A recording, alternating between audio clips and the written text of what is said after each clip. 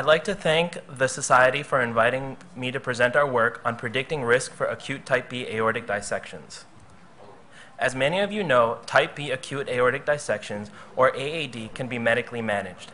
However, this aortic pathology is still associated with significant morbidity.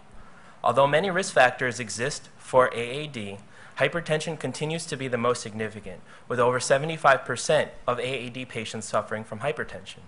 Yet a disparity exists between hypertensive patients who do and do not develop type B AAD. Nearly 75 million American adults are hypertensive, yet the incidence of AAD is extremely small in comparison, suggesting that using screening alone for hypertension to prevent AAD may be inappropriate. As such, we sought to develop an aortic profile to identify hypertensive patients most at risk for development of type B AAD. In order to do this, we performed a retrospective study of Mount Sinai patients who presented to the emergency room complaining of chest pain and who received a CT angiography uh, to rule out aortic dissection and other thoracic pathologies. We identified normotensive patients, hypertensive patients without AAD, and type B AAD patients who met the following inclusion criteria. They received a multi detector CTA within two weeks of symptom onset, they had no history of prior aortic repair in the proximal aorta, and they had no history of established connective tissue disorder. From here, we assessed vitals, medical history, demographics, along with ECG gated MDCTA of the thoracic aorta, in which we assessed the midline length of the proximal and entire aorta, the volume and diameter of segments of the proximal aorta, tortuosity, defined by the midline length divided by the straight line distance between segments of the, of the proximal and entire aorta, as well as angulation of the brachiocephalic and left subclavian arteries off the ostium of the aortic arch.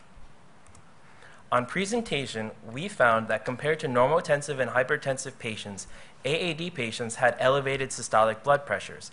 This was even after administration of IV antihypertensives en route to the hospital. In addition, AAD patients were more likely to be black, have a smoking history, and be actively smoking compared to hypertensive patients. Next, we assessed antihypertensive medications, and we found that there was no difference in the number of patients taking antihypertensive medications or the number of medications being taken.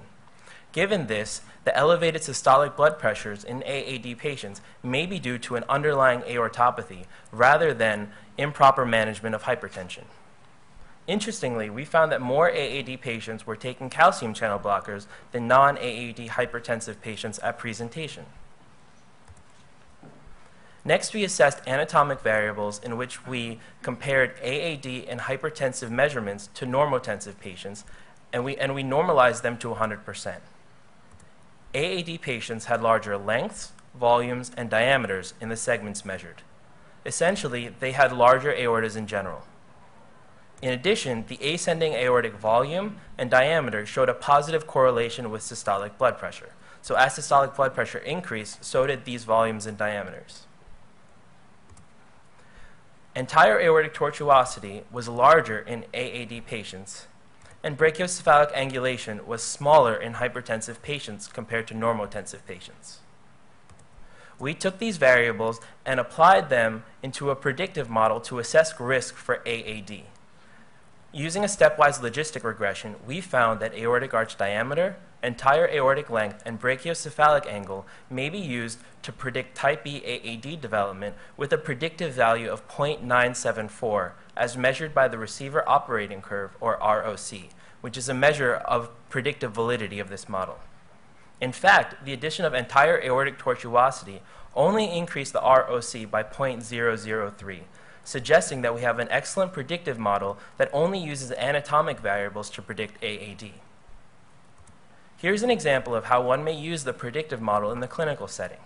If we have a 62-year-old gentleman with a blood pressure of 190 over 110, with an aortic arch diameter of 120%, entire aortic length of 115%, and brachiocephalic angle of 80%, all relative to normotensive patients at 100%, we apply these values to get a y coefficient of 1.0158, which is next applied into the probability equation telling us that this patient has a 73.4% chance of developing a type B AAD. Therefore, based off of retrospective data, we can assess that this patient has a high risk of AAD development based off of anatomic variables alone. In conclusion, AAD patients are more likely to have altered geometry of the proximal aorta compared to patients with hypertension alone.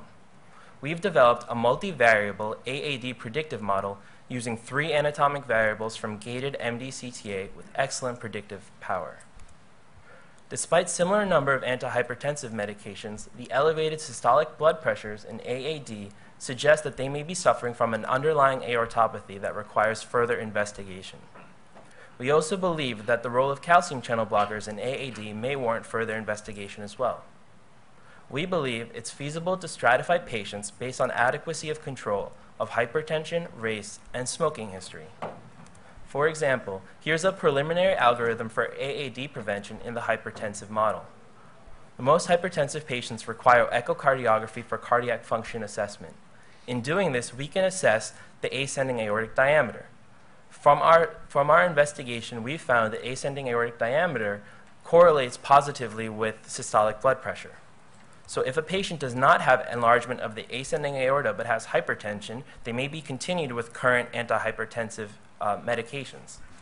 If they do have enlargement, however, the next question we may ask is, is this patient black, a smoker, or have a history of smoking? If no, they may require more aggressive antihypertensive regimen for the enlarging ascending aorta, but may not necessarily benefit from CTA. Instead, they may benefit from serial echocardiography. If yes, however, these patients may benefit from CTA for predictive model assessment in order to assess the risk of AAD development. Using this algorithm, not all hypertensive patients require, require CT angiography, but rather a select subset of patients that this study has identified as being most at risk for AAD.